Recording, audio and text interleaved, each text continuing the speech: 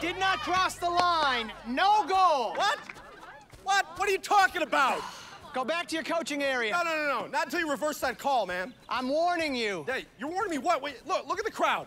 Easy, mister. I got this, Lisa. What? There's not many of No, them. no, no, look at them. Okay, you got like five dozen different recorded versions of that play you completely missed right there. Why don't you just walk over there and ask one of them to replay it for you? Then you see you're wrong, we'll win the game, and then you can stumble home with your seeing eye dog. That's it. Yellow card. Yellow card? Are you Oh, he blew another man's whistle. Did you just blow my whistle? You're damn right? You do not blow another man's You whistle. do when he blows the game for you.